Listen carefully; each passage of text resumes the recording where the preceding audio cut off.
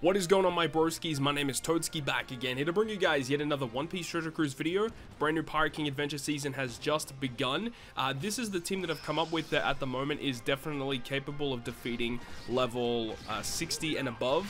Uh, so of course it does change when you get to level 80, so between 60 and 80, this team will 100% work. Uh, we're using a friend captain Garp, but realistically, you can use whatever friend captain you want, and this is a full free-to-play team. Like, yes, we do have 6 plus Hawkins, but Hawkins is also technically free-to-play because he was available in the Rumble season and the Super Evolution skulls from the previous Kizuna, but again, Hawkins really isn't needed either. He's just kind of here because he's one of the higher point boosters that you can run in this event. We also do use the ship of uh.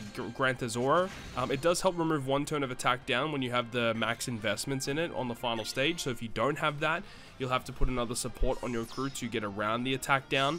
Um, so yeah, it's a really, really cool that we actually get to use one of every color on the team.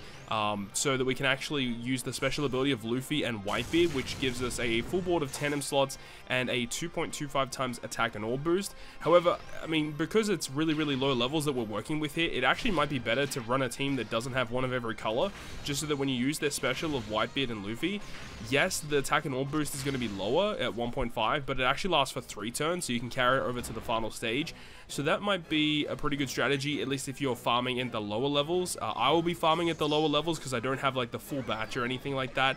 So I'm going to be farming at around level 60, I think, this time around until I get all of my turtles. And then I'll progress forward into the deeper levels and see what we can come up with once we get to like PKA level 100 and 150. So that's going to wrap it up for me. Thank you so much for watching the video. Hopefully you enjoyed it. If you did, make sure to go ahead and leave a like.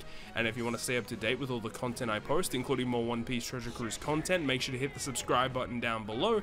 On that, guys, I'll see you guys